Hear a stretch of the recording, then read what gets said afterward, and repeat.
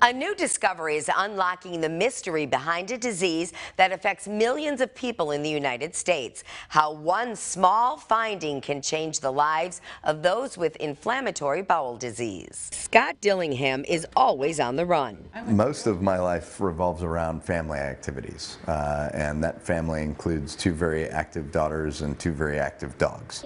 But living with IBD for nearly 25 years has had him always running to the bathroom. I I suddenly found myself um, experiencing pretty dramatic symptoms, um, urgency and, and blood, um, and was really quite scared. Now, researchers at the University of Chicago have identified a molecule called divertin, which blocks an enzyme from breaking down the intestinal barrier. When that barrier breaks down, then our immune system reacts to it and may think that it's under attack. Causing inflammation that can lead to IBD conditions such as Crohn's and ulcerative colitis. So if you can use this small molecule almost like a key in a lock to block that enzyme from breaking down the barrier, you can actually enhance or protect that barrier. And prevent IBD and relapses. For Scott, who takes immunosuppressants to keep his symptoms at bay, the discovery is terrific news. Immunosuppressants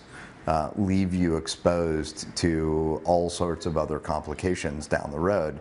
Being untethered from that dependency would be life-changing.